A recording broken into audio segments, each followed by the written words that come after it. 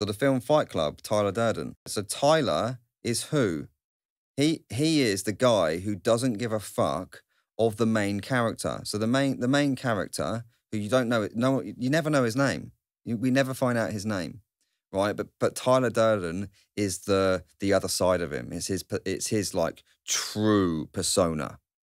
It's his true psyche. And Tyler, he doesn't care.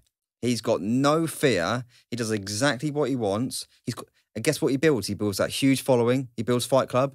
He's got all these people following him. He gets he, he- gets the girls, right? he but and it, and, he, and he's ta- and he takes the big shots. Yeah. He doesn't he doesn't care because that's the other side of him that has no fear.